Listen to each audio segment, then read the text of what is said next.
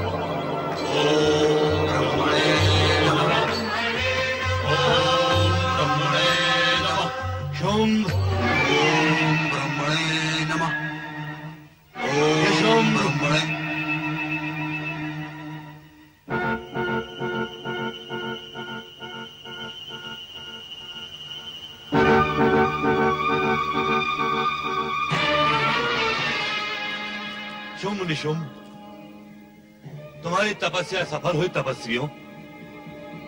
हम ब्रह्मदेव तुम्हारे तप से प्रसन्न होकर तुम्हारे सम्मुख उपस्थित हुए हैं।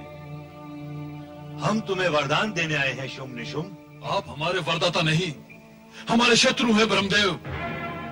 आपने तपस्या में हमें इतना कष्ट क्यों दिया? हमारे साथ ये पक्षपात क्यों? हम जानते हैं आप देवताओं के परम पिता हैं। हम तुम्हारी परीक्षा ले रहे थे। हो गई परीक्षा। परीक्षा अवश्य हो गई। किंतु तुम दोनों क्रोध की ज्वाला को न बढ़ाओ। अब हमें वरदान दो ब्रह्मदेव। वरदान देने से क्रोध की ज्वाला अपने आप शांत हो जाएगी ब्रह्मदेव। कहो क्या वरदान चाहते हो? हम चाहते हैं अमरता का वरदान ताकि कोई हमें मार न सके। शुम निशुम हम तुम्हें अपार शक्ति का वरदान दे सकते हैं। परंतु अमरता का वरदान देना हमारे वश में भी नहीं है। क्यों? क्योंकि जन्म लेने वाले का मरण निश्चित है। इतने कठोर तप क्या हमने मारे जाने के लिए किया है। एक बार फिर समझ लो कि हम तुम्हें यहाँ वरदान देने के लिए ही उपस्थित हुए हैं। और ये भी कि जिसने जन्म लिया है उसकी मृत्यु निश्चित है। इसलिए तुम अपने किसी ऐसे मारने वाले का चुनाव कर लो। जिसका अस्तित्व ही असंभव हो। अपनी बात को और अधिक स्पष्ट करे ब्रह्मदेव। तो सुनो तुम ये वर भी मांग सकते हो कि तुम्हारा मरण किसी पुरुष के हाथ न हो हाँ हाँ हमें यही वरदान चाहिए ब्रह्मदेव कि हमारी मृत्यु किसी पुरुष के हाथों ना हो। पुरुष हमें मार सकेगा नहीं तो भला स्त्री हमें मारने का साहस कैसे करेगी? फिर तो हम मरेंगे ही नहीं। पुरुष हमें मारेगा नहीं स्त्री हमें मार नहीं सकेगी। फिर तो हम अमर हो ही जाएँगे। हाँ भली भांति सोच विचार कर लो। स्त्री की शक्ति भी कम नहीं होती। ब्रह्मदेव हमें मारने वाली स्त्री ऐसी हो जिसने माँ के गर्भ से जन्म ना लिया हो। और वो स्त्री विवाहित ना हो कुंवारी हो। और वो हमें तभी मार सके जब हमारे मन में उसके प्रति आकर्षण उत्पन्न हो जाए। फिर तो ऐसी किसी स्त्री का अस्तित्व ही नहीं होगा और न हमारा मरण संभव होगा। हाँ हाँ ब्रह्मदेव हमें ऐसा ही वरदान चाहिए। तथास्तु।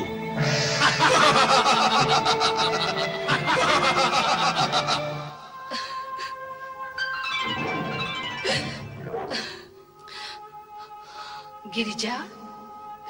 गिरिजा?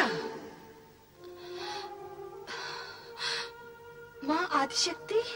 गिरिजा, क्या इस प्रकार रोना, सुबकना तुम्हें शोभा देता है? तुम शक्ति का अवतार हो। एकमात्र दृष्टि विक्षेप से तुम इस जगत में प्रलय मचा सकती हो। फिर अचानक तुम इतनी अबला कैसे हो गई? अपने पति द्वारा किया गया यह घोर अपमान मैं कैसे सहन कर सकती हूँ? जो हो चुका है, उसे भूल जाओ। और अब तुम्हारा अपमान ना हो ऐसा उपाय करो। क्या है वो उपाय? जहाँ अपमान होता है वहाँ तो स्वाभिमानी को एक पल भी नहीं ठहरना चाहिए। तुरंत चली जाओ यहाँ से। पर स्वामी मुझे यहाँ से जाने की आज्ञा नहीं देंगे। क्या उनकी आज्ञा के बिना यहाँ से जाना उचित होगा? भोलेनाथ अंतर्यामी हैं। उन्हें तुम्हारी हृदय की व्यथा का पता है। इसीलिए आज्ञा की चिंता किए बिना स्वाभिमान की रक्षा के लिए तुरंत इस मंदराचल का त्याग कर दो।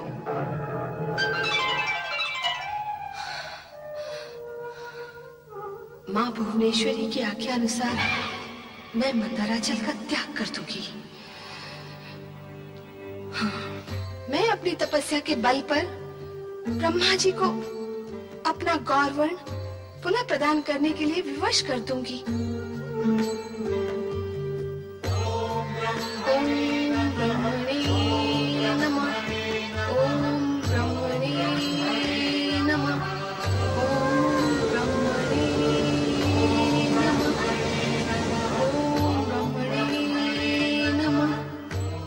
और माता पार्वती ने अपने उद्देश्य के लिए ब्रह्मदेव की कठोर तपस्या आरंभ की।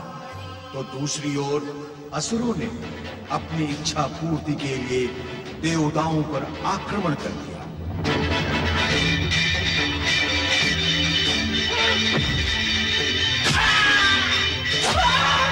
महाशक्तिशाली, शुंभ निशुंभ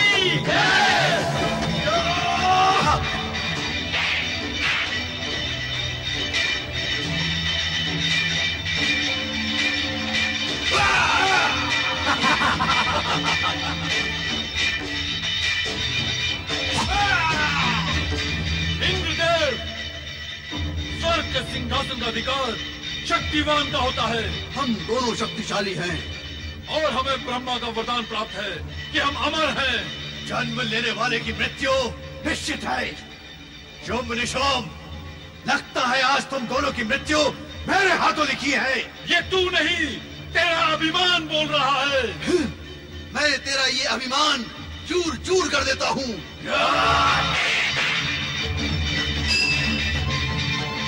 हाँ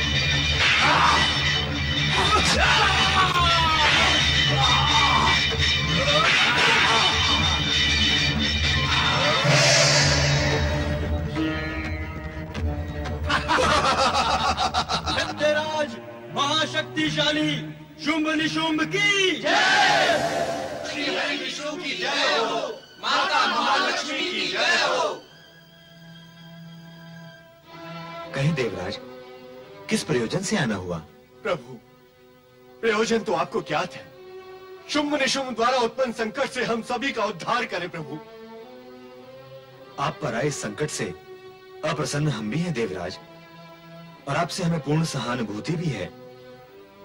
किंतु हम भी वही कहेंगे जो परमपिता ब्रह्मा ने आपसे कहा कि जब तक शुंभ निशुंभ अत्याचारों की सीमा का उल्लंघन करके अपनी तपस्या से प्राप्त पुण्य समाप्त नहीं कर लेते तब तक आपको स्वर्ग की पुनः प्राप्ति होना असंभव है, देवराज। तो अब हम क्या करें, प्रभु? कहा जाए? आपके इन शब्दों से आपकी चिंता प्रकट हो रही है, देवराज।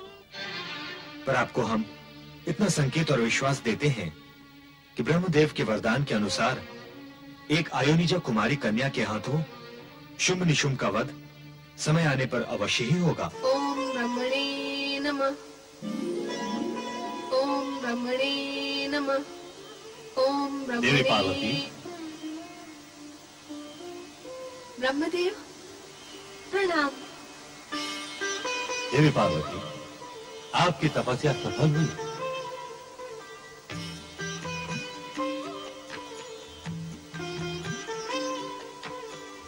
आपने मेरी पुकार पर मुझे दर्शन देने की कृपा की। इसे मैं अपना सौभाग्य मानती हूँ। किंतु तपस्या की सफलता तब मानी जाएगी, ब्रह्मदेव, जब आप मुझे मेरा पूर्व वर्ण और रूप पुनः प्रदान करेंगे। मैं आपको ये वरदान देता हूँ। कि आपके श्याम वर्ण से श्याम वर्ण वाली एक अजन्मा दिव्य कन्या उत्पन्न हो और आपको अपना गौरवर्ण एवं रूप पुनः प्राप्त हो?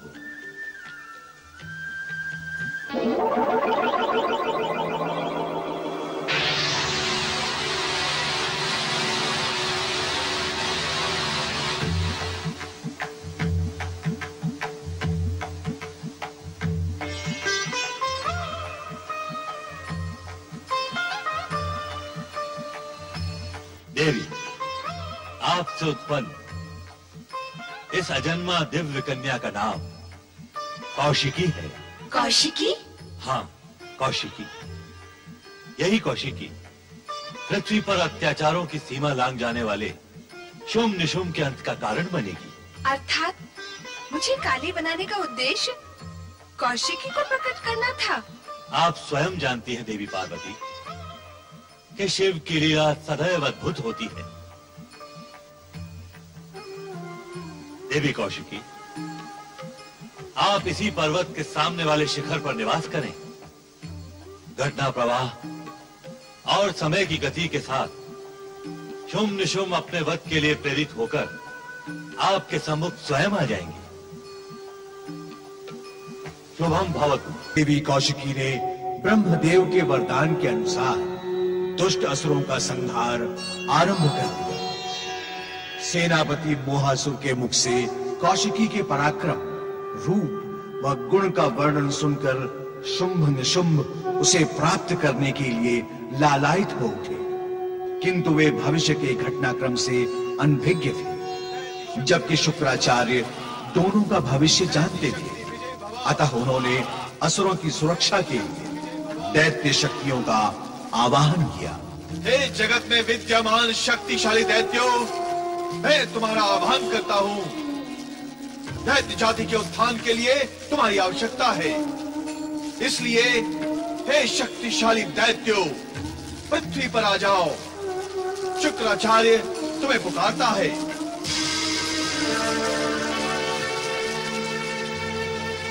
क्या मेरी सिद्धियाँ प्रभावहीन हो गई? क्या नए असुरों की उत्पत्ति हेतु की गई मेरी तपस्या सर्वथा व्यर्थ हो गई? इन आहुतियों का कोई प्रभाव दिखाई क्यों नहीं देता?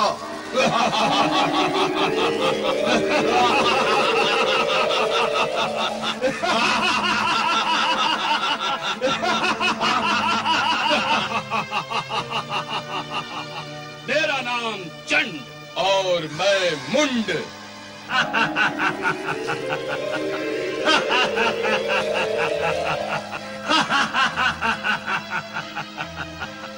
प्रणाम दैत्य गुरु शुक्राचार्य। मैं सुग्रीव भी आपके आह्वान पर प्रकट हुआ हूँ। तुम्हारी विशेषता क्या है? गुरुवर, बुद्धिमान दैत्य होने के नाते मैं शक्ति की अपेक्षा बुद्धि का अधिक प्रयोग करता हूँ। कृपा करके बताए कि मुझे क्या करना होगा? शक्तिमान और बुद्धिमान दैत्यों के प्रकट होने से मेरा आवाज़ सफल हुआ। किंतु मुझे शक्तिमान और वरदानी दैत्यो शुभ निशुम के भविष्य की चिंता है।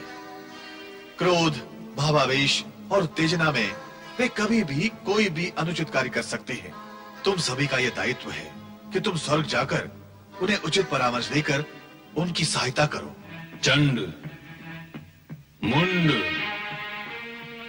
और सुग्रीव। हाँ दैत्यराज दैत्य गुरु शुक्राचार्य आप दोनों की सुरक्षा के विषय में अत्यधिक चिंतित हैं। इसलिए अब उनकी चिंता का भार मैंने अपने ऊपर ले लिया है। दैत्यराज बताएँ वो अपूर्व सुंदरी कौन है जिसने आपके स्वर्ग को नरक बना दिया है? हमें आज्ञा दे दैत्यराज हम आपकी प्रसन्नता के लिए जो भी कर सकते हैं अवश्य करेंगे।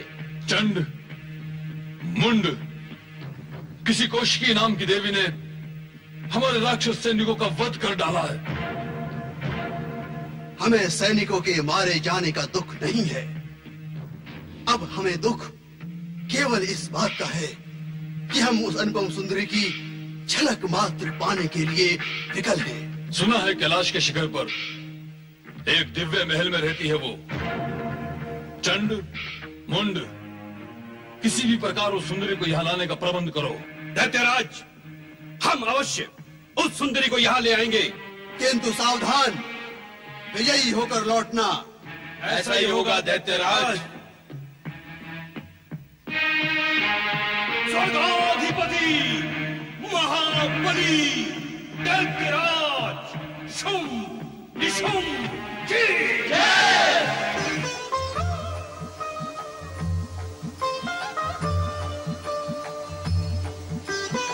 पुत्री कौशिकी माता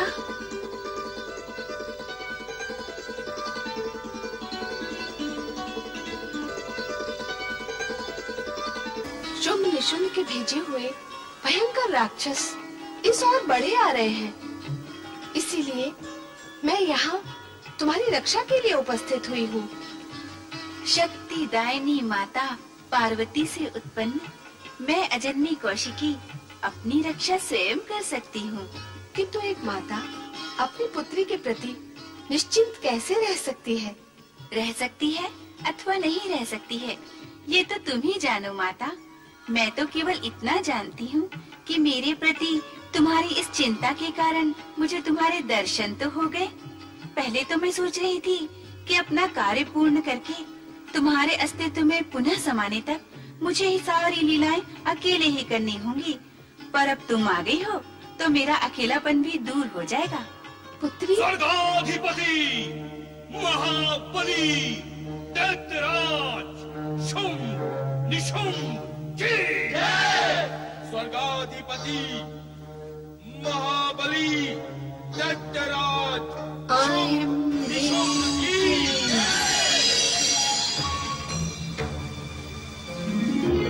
सेनापति महाबली चंड मुंड की सावधान दुष्ट चंड मुंड तुम्हारा प्रवेश कौशिकी महालय में अब कदापि नहीं होगा।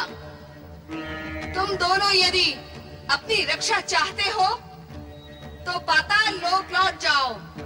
अन्यथा मुझसे युद्ध करो। हम बलपूर्वक सुंदरी कौशिकी को स्वर्ग लोग ले जाकर ही रहेंगे। स्वर्ग विजेता शुंभ निशुंभ की यही आज्ञा है। चंड मुंड तुम दोनों को समाप्त करने के लिए ही मैंने चामुंडा का रूप धारण किया है। हम पाताल के महावीर योद्धा हैं।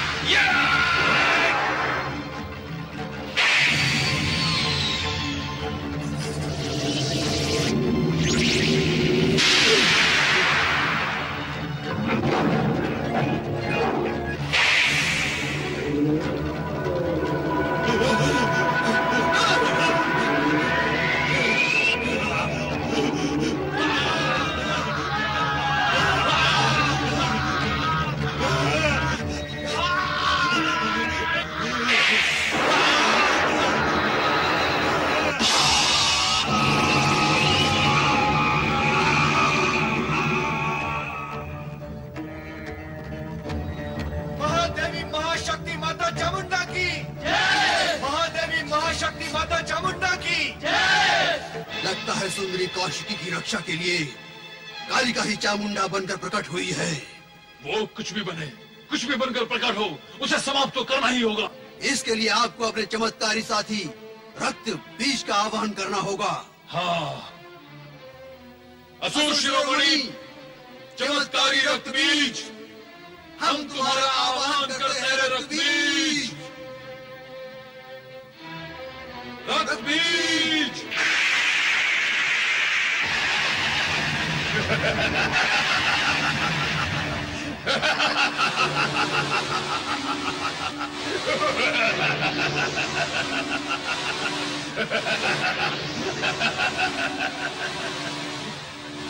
रक्त बीज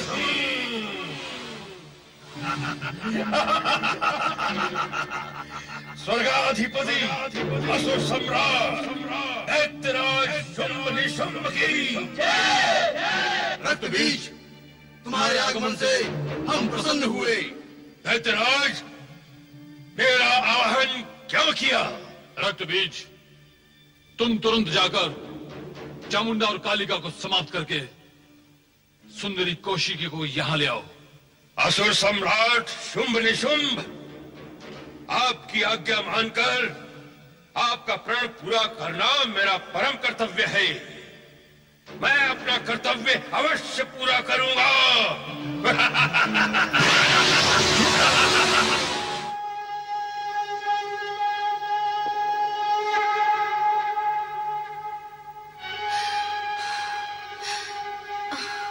क्या हुआ देवी? ये शंख ध्वनि सुन रहे हैं ना, स्वामी? ये कौशिकी का आह्वान है मेरे लिए।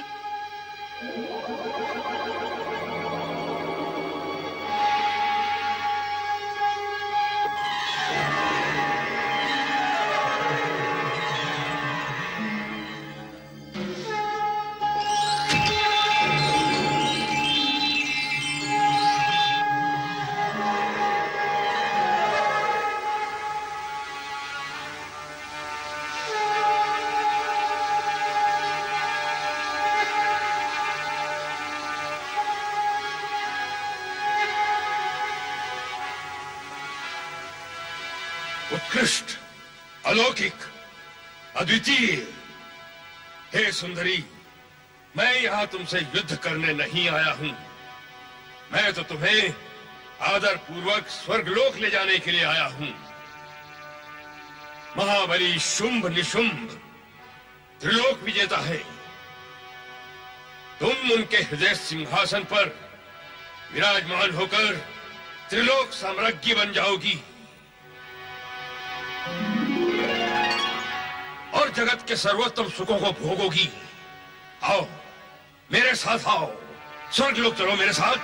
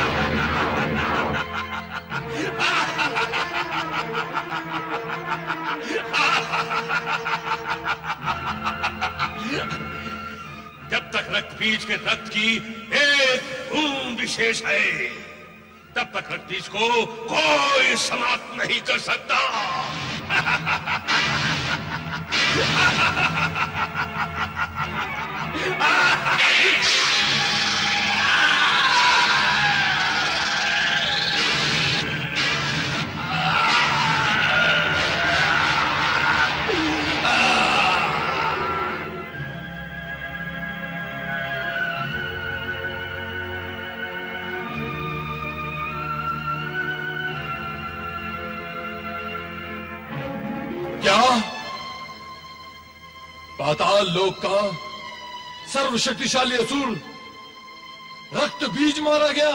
भैया शुंभ अब तो स्वयं मुझे ही युद्ध भूमि में जाना होगा।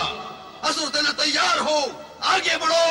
महाशक्तिशाली दैत्यराज निशुंभ की। दैत्यराज निशुंभ की। दैत्यराज भैया निशुंभ निशुंभ हम तुम्हें उस कालिका के साथ युद्ध करने के लिए अकेले नहीं जाने देंगे। वो सुंदरी कौशिकी के साथ भयानक और चमत्कारी काली का चामुंडा है। हम अपने अनेक असुर वीरों को उसके प्रहारों के कारण खो चुके हैं। इसलिए हम तुम्हें युद्ध में अकेले नहीं जाने देंगे। हम भी तुम्हारे साथ चलेंगे। विजेता शुंभ निशुंभ की जय!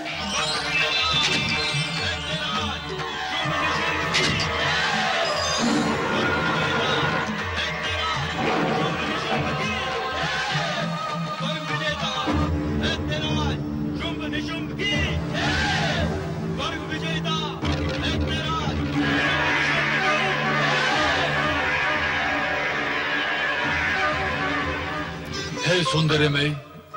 हे रूप गर्विता हे स्वप्न सुंदरी तुम्हारे सौंदर्य के सम्मोहन में हम तो ये भी भूल गए कि हम यहाँ युद्ध करने आए हैं। ऐसी सर्वश्रेष्ठ सुंदरी से युद्ध करना कौन चाहेगा? युद्ध नहीं करोगे तो मुझे प्राप्त कैसे करोगे?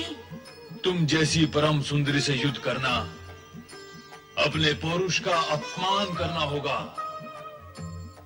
तुम्हें तो बिना युद्ध किए स्वयं को हमें समर्पित कर देना चाहिए। हमारा सारा बल वैभव तुम्हारे चरणों में समर्पित है सुंदरी। फिर युद्ध की क्या आवश्यकता है? और मेरी प्रतिज्ञा का क्या होगा?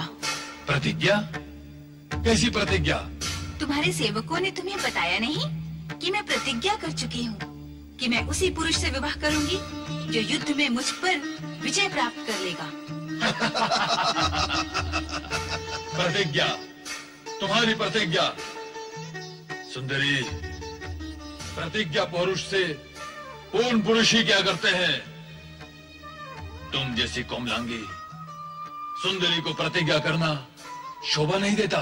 कोमलांगी प्रतिज्ञा करे तो उसकी कोमलता नष्ट हो जाती है। दुष्टो नष्ट तो अब तुम्हें होना है। मुझसे युद्ध करो। अन्यथा मैं तुम्हें समाप्त कर दूँ, समाप्त कर दूँ, समाप्त कर दूँ, समाप्त कर दूँ, समाप्त कर दूँ भैया शुंभ अब तो हमें इस अभिमानिनी को अपनी शक्ति का परिचय देना ही होगा।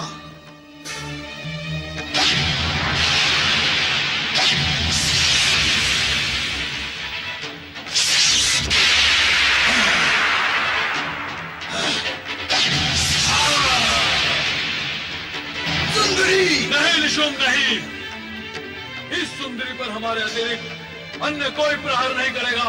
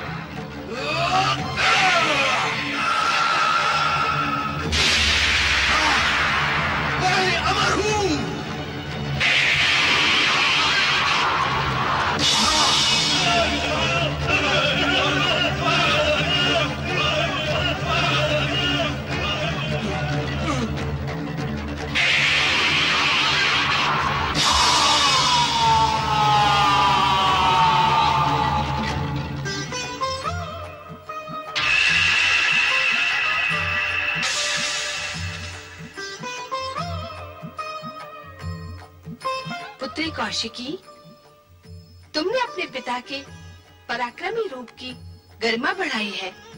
और अपनी माता के शक्ति रूप को भी सार्थक किया है।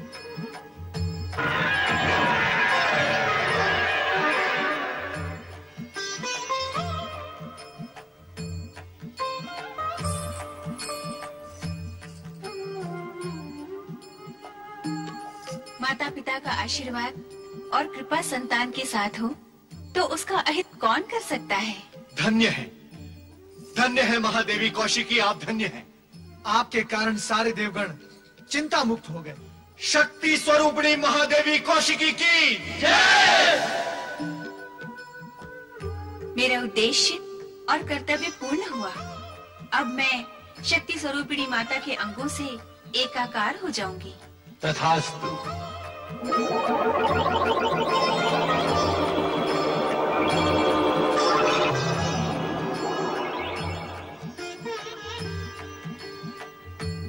त्रिलोकीनाथ भगवान भोलेनाथ की।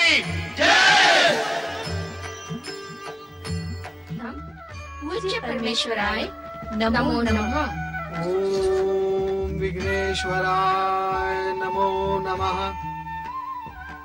मेरे यहाँ उपस्थित होने से आपको कोई असुविधा तो नहीं हुई गजानन गणेश? देवऋषि असुविधा की शंका आपके मन में आई कैसे? नारायण नारायण। वो इसलिए कि जब मैंने यहाँ प्रवेश किया तो आपकी दृष्टि में वो हर्ष की स्वीकृति नहीं थी जो किसी अतिथि के आने पर अतिथेय की दृष्टि में होती है। आपके नेत्रों में क्रोध की झलक थी शिवनंदन। देवऋषि आप तो हमारे पूज्य हैं। आप पर भला क्रोध का क्या कारण? ये अनुचित कार्य तो हमें ही पाप का भागी बना देगा। देवऋषि हमने आपको क्रोध से नहीं, आश्चर्य से देखा था। और आश्चर्य का कारण ये था कि आप तो कभी इस ओर पधारते नहीं। आज पधारे हैं तो अवश्य विशेष उद्देश्य के साथ ही पधारे होंगे। और ये उद्देश्य क्या है, इसी ने आश्चर्य उत्पन्न कर दिया। हे विघ्न विनाशक आपका विचार सत्य है। मैं ये तो नहीं कहूँगा कि मैं मात्र आपके दर्शन करने आया हूँ। किंतु मेरा उद्देश्य ऐसा भी नहीं है जो आपको चिंतित कर दे। मैं तो यही निवेदन करने आया हूँ कि देवी बुद्धि और देवी सिद्धि के साथ विवाह करने के पश्चात आप अपने माता पिता और कैलाश को तो सर्वथा भूल ही गए हैं। नहीं देवऋषि नहीं। माता पिता को कैसे भूला जा सकता है? तो फिर आप कैलाश आए क्यों नहीं? क्या वो समय आपकी स्मृति में दृश्यमान नहीं होता, जब आपकी और कार्तिकेय के हाथ से और हास्य से पूर्ण किलकारियाँ कैलाश पर गूंजा करती थी? क्या आपको स्मरण है कि आप दोनों को साथ साथ प्रसन्न मुद्रा में देखकर भगवान भोलेनाथ और माता पार्वती का मुख प्रसन्न हो उठता था? आप दोनों को समीप पाकर उनका हृदय आनंदित हो जाता था। इतना ही नहीं जो भी भक्त भगवान भोलेनाथ और माता पार्वती के दर्शनार्थ कैलाश पर आता था वो आपके भी दर्शन पाकर धन्य धन्य हो जाता था। क्या वो सब आपको स्मरण है? है क्यों नहीं देव ऋषि? अवश्य है। यदि है तो फिर आप इतने समय से वहाँ आए क्यों नहीं? आपके माता पिता आपकी प्रतीक्षा करते रहते हैं। परंतु किसी से कुछ कहते नहीं। उनका दुख देखकर मैं भी दुखी होता रहता हूँ। आज मैं यहाँ यही दुख प्रकट करने आया हूँ।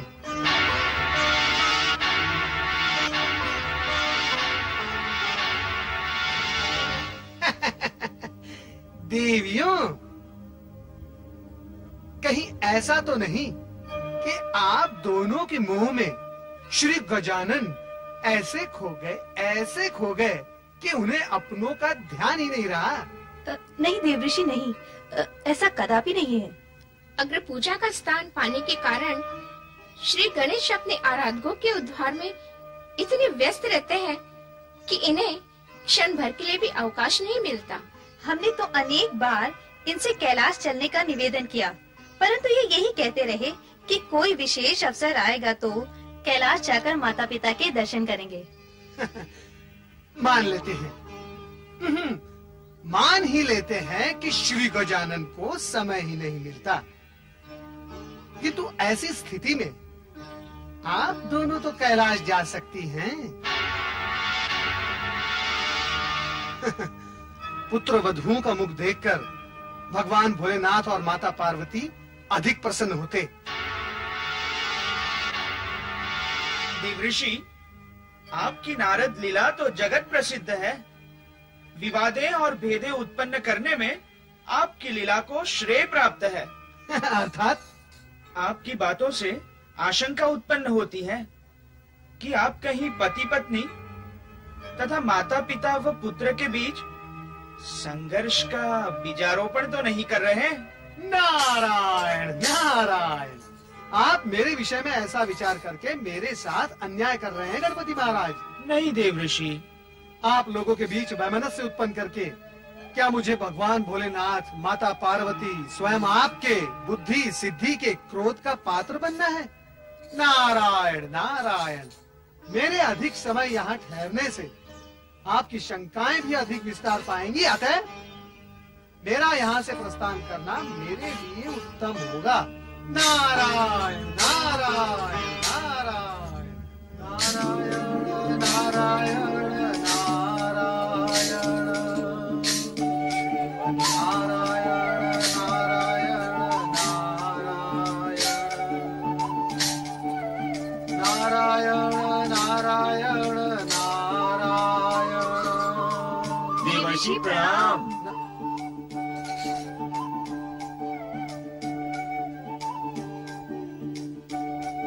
प्रणाम देवर्षि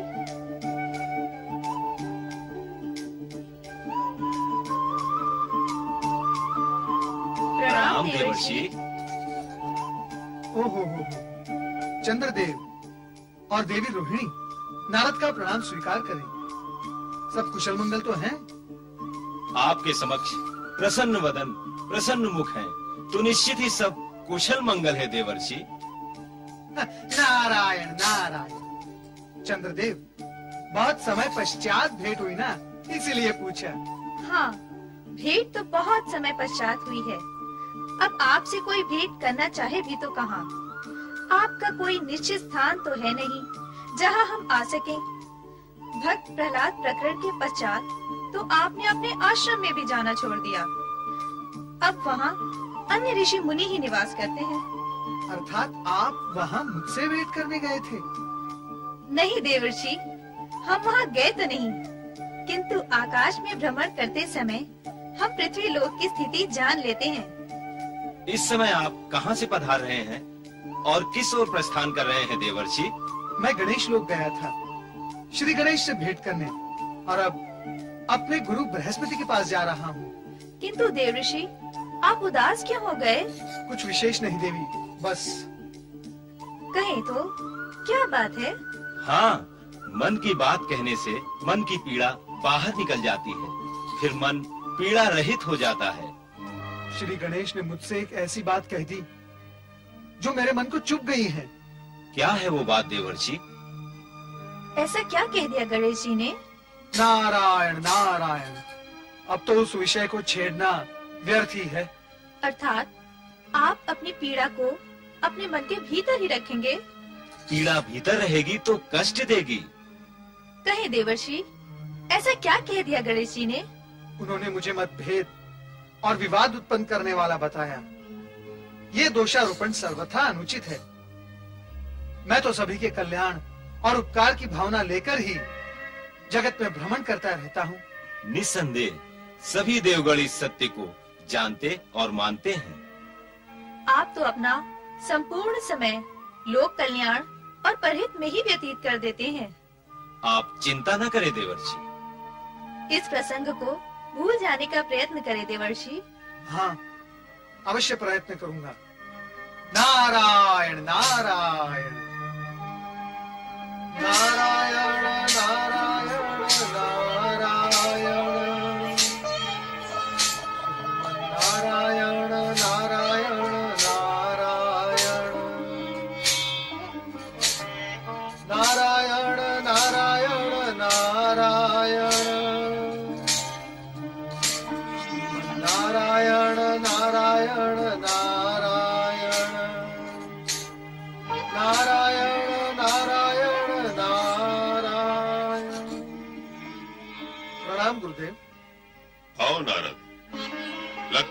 दिनों तुम बहुत व्यस्त रहते हो। यहाँ आने का समय ही नहीं है तुम्हारे पास। बैठो। तुम्हारा मित्र पर्वत तुम्हें खोजते खोजते थक गया इस समय भी वो तुम्ही को खोजने गया है। मेरी ऐसी क्या आवश्यकता पड़ी गुरुदेव? नारद तुमने हमारा शिष्यत्व ग्रहण करके हमारी पूर्ण सेवा की है। जीवन भर देवहित एवं लोक हित में कल्याणकारी कार्य करके जगत में हमारे नाम को उज्ज्वलित किया है। इसीलिए हम तुमसे प्रसन्न हैं और आशीर्वाद स्वरूप एक अद्भुत भेंट देना चाहते हैं। गुरुदेव मैंने आपको गुरुदक्षिणा ना देकर शिष्य का समुचित कर्तव्य नहीं निभाया। इसके लिए मैं लज्जित हूँ। फिर भी आप मुझे कुछ भेंट प्रदान करना चाहते हैं? नारद हमने तुमसे अथवा पर्वत से कभी गुरु दक्षिणा की अपेक्षा ही नहीं रखी। हम देव गुरु हैं। और देव गुरु का स्थान अन्य गुरुओं की अपेक्षा विशिष्ट होता है। हमारे शिष्य हमारी कृपा के पात्र बनकर हमसे कुछ पाते ही हैं। गुरुदेव आपने उस अद्भुत वस्तु की चर्चा करके मेरे मन में जिज्ञासा उत्पन्न कर दी है। मेरी जिज्ञासा बढ़ती ही जा रही है। कृपया कर आप मुझे ये बताएँ कि वो अद्भुत वस्तु क्या है? सुनो नारद मेरी बात ध्यान से सुनो। स्वर्ग के नंदन वन में पारिजात वृक्ष के ऊपरी भाग पर एक अद्भुत दिव्य फल उत्पन्न हुआ है। इसके विषय में हमारे अतिरिक्त और कोई नहीं जानता। ये समझो कि इस पर हमारा एकाधिकार है। तुम उस दिव्य फल को तोड़कर ले आओ और हमारा उपहार समझकर अपने पास रख लो। उस दिव्य फल को स्पर्श करते ही इच्छित वस्तु प्राप्त हो जाती है। जो कुछ देखना चाहते हो सब कुछ स्पष्ट दिखाई देने लगता है। किंतु भूल कर भी उस दिव्य फल को खाने की भूल न करना। उसे खाने से क्या कोई अनिष्ट भी हो सकता है? हाँ वो अनिष्टकारी भी है। है तो वो अत्यंत मधुर। किंतु उसे खाने के बाद भूख सदा के लिए नष्ट हो जाएगी। उसे खाने के पश्चात और कुछ खाने की स्थिति नहीं रहेगी। अब अधिक सोच विचार ना करो नारद। उस फल को तोड़कर तुरंत स्वर्ग से अदृश्य हो जाओ। क्या पर्वत इस विषय में कुछ जानता है? नहीं सर्वथा नहीं। वो इस फल के पात्र नहीं है। हमने उसे इस विषय में कुछ नहीं बताया। तुम भी ना बताना। अब जाओ शीघ्रता करो। जो आपकी इच्छा।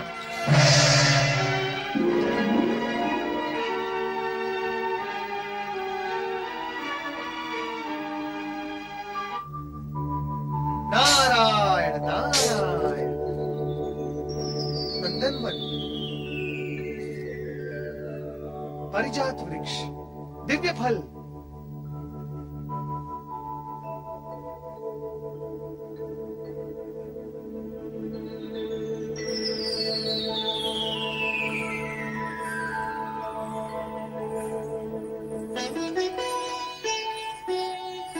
आह, कितना सुंदर और मनमोहक वातावरण है। कैसी मादकता छाई हुई है। प्रिय स्वामी होते हुए भी। हम एकांत में तुमसे मिलने के लिए सदा व्याकुल रहते हैं। यही स्थिति मेरी भी है स्वामी। अपनी व्याकुलता की चर्चा मैं किससे करूँ? हमसे करो। पर समय ही कहाँ है आपके पास? तुम सत्य कह रही हो। कभी राक्षसों का भय तो कभी स्वर्ग से पलायन। कभी ब्रह्मा, विष्णु, महेश के पास सहायता के लिए भागदौड़ और कभी धरती पर होने वाले उत्पादों की चिंता। इन सभी कारणों से प्रेम करने का अवकाश ही नहीं मिल पाता। प्रिय, तुम्हारी मृणाल बाहों में समा जाने की इच्छा मनी मन घुटकर रह जाती है। स्वामी, मैं भी तो आपके विशाल वक्ष में सिमट जाने के लिए कब से व्याकुल हो रही हूँ? अर्थात, प्रेम की ज्वाला दोनों समान रूप से प्रज्वलित है।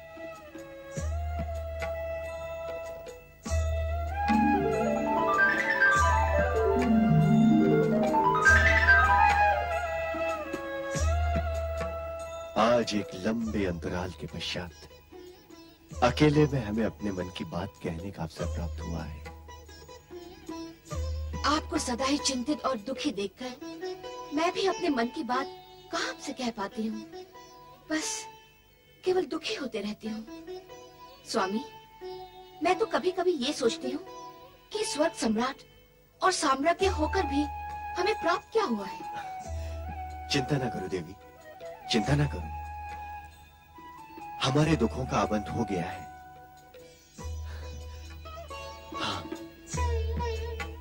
और अब हमारे एकांत मिलन में कोई बाधा नहीं पहुंचाएगा। स्वामी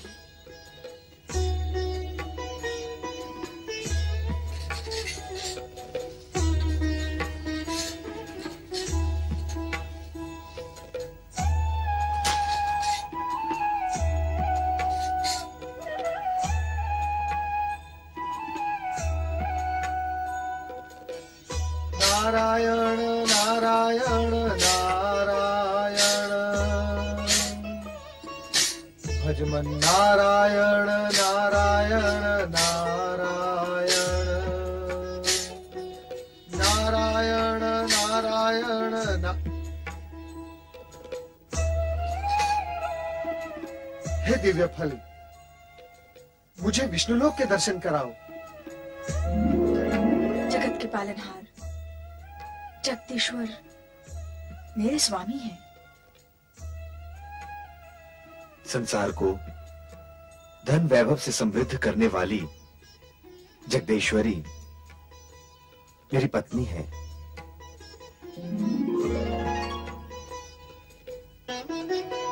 यहाँ भी प्रेम पक्ष प्रबल है।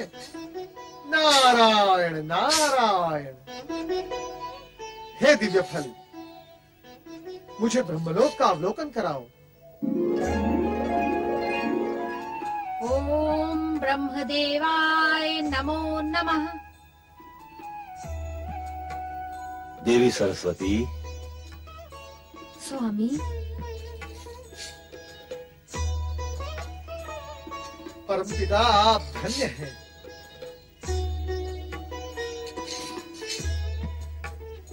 हे दिव्य फल।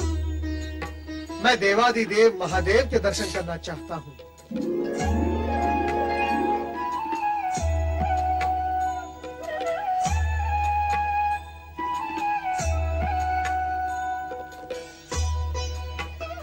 पति परमेश्वराय नमो नमः।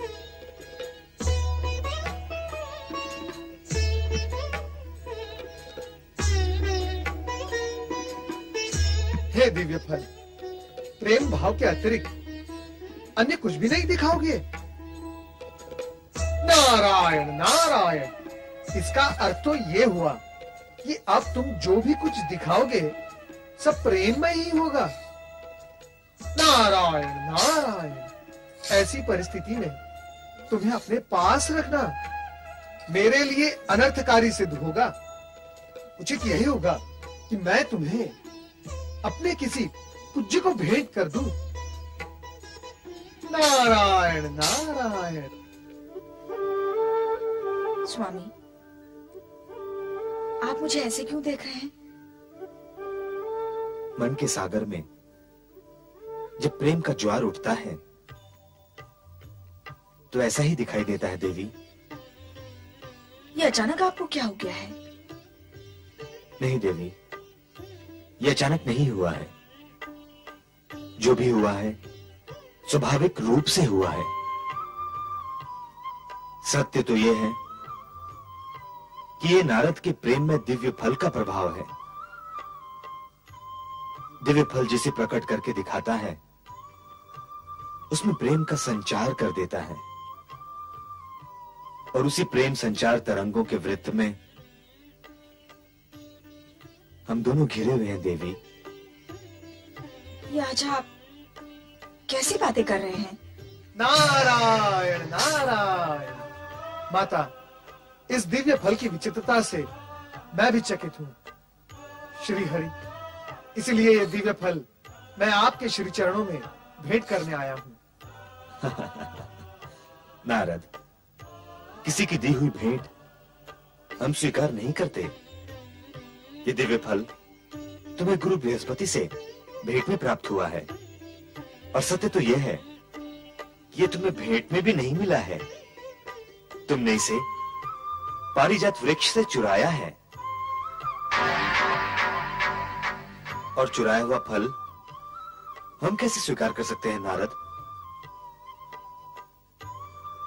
और नारद, वैसे भी इस फल का हमारे लिए कोई उपयोग नहीं है, क्योंकि हम जो भी देखना चाहें अपनी दिव्य दृष्टि से देख ही लेते हैं।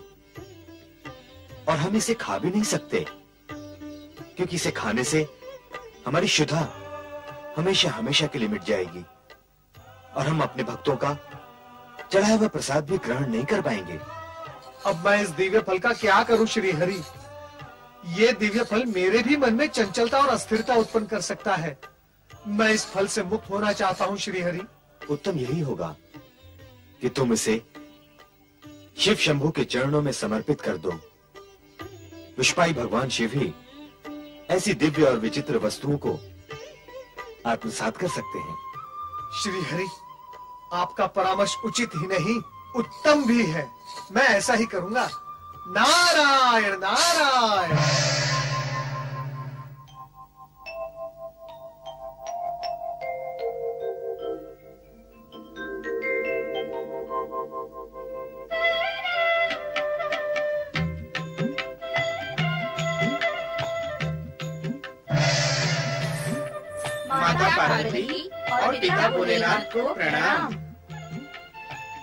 इतने लंबे समय तक आपके शुभ आशीर्वाद से वंचित रहने के कारण हम क्षमा प्रार्थी हैं।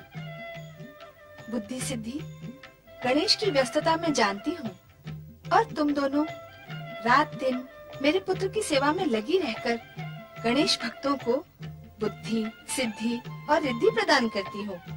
इसीलिए तुम्हारे यहाँ न आ पाने की व्यवस्था भी मैं समझती हूँ। माता तुम तो जानती हो कि आप दोनों का स्थान तो मेरे हृदय मंदिर में विराजमान है। इसीलिए प्रतिदिन प्रातः काल मैं मस्तक झुकाकर आप दोनों के दर्शन कर लेता हूँ। उत्तम। बुद्धि सिद्धि के साथ रहकर तुम्हारी भाषा कलात्मक और अलंकार पूर्ण हो गई है। नटराज शिव और नटराग्नि शिवा का पुत्र होने के नाते मैं तो जन्मजात कलाकार ही हूँ। प्रभु यह किसी की संगति का प्रभाव नहीं है।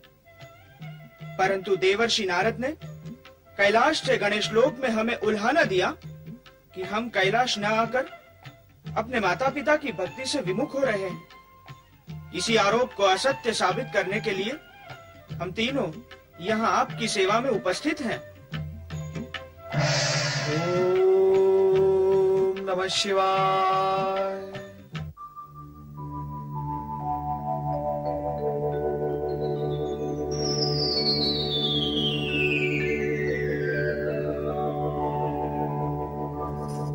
प्रणाम देवर्षि, आपके उल्हाना के फल स्वरूप हम तीनों यहाँ उपस्थित हुए हैं। नारायण नारायण। हे विघ्नहर्ता गणेश, कैलाश पे आपके दर्शन पाकर मैं धन्य हुआ। हे भोलेनाथ, मैं आपके चरणों में पारिजात का यह दिव्य फल समर्पित करना चाहता हूँ। कृपया आप इसे स्वीकार करें।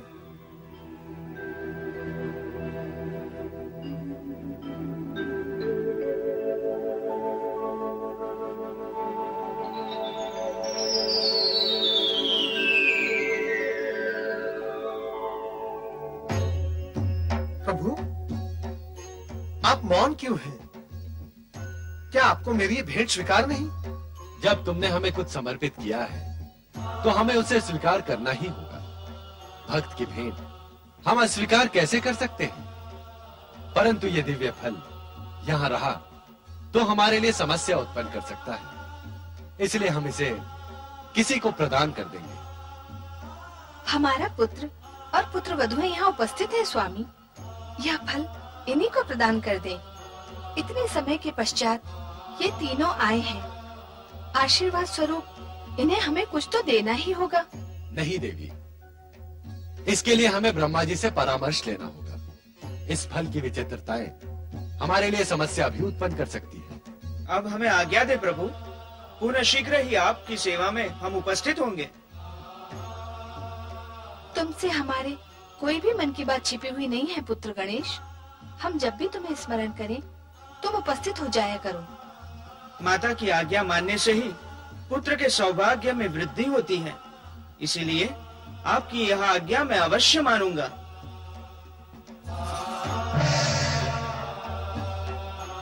हे भोलेनाथ अब आप मुझे भी आज्ञा दें। आपके चरणों में फल समर्पित कर अब मैं भी मुक्त हो गया। नारायण नारायण।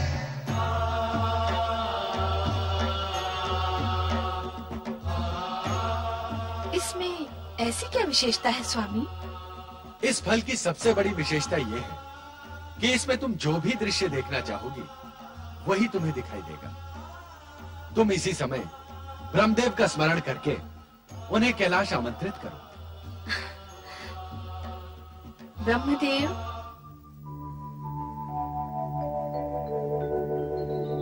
आज्ञा महादेव। भगवान भोलेनाथ आपको कैलाश आमंत्रित करना चाहते हैं। मैं शीघ्र उपस्थित हुआ महादेवी।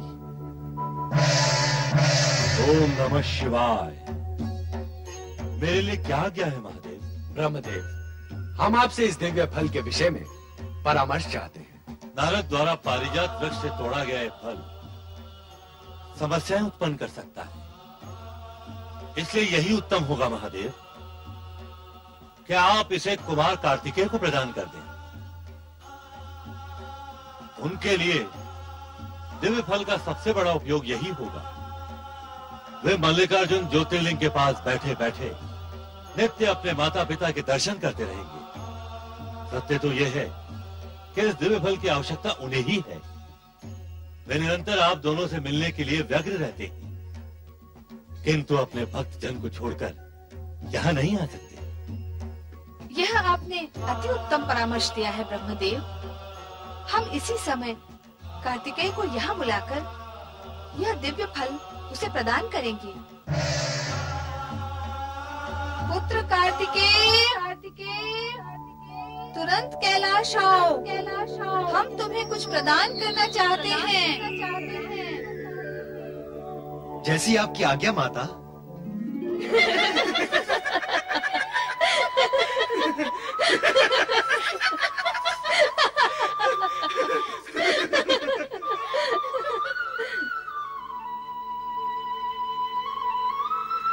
देख रही हो रोनी? विधाता की माया। उधर देखो, उस गजमुख और लंबोदर गणेश को। उसे देखने के पश्चात उसकी उन दोनों सुंदर पत्नियों, बुद्धि और सिद्धि को भी देखो। भला कोई मेल है इनमें?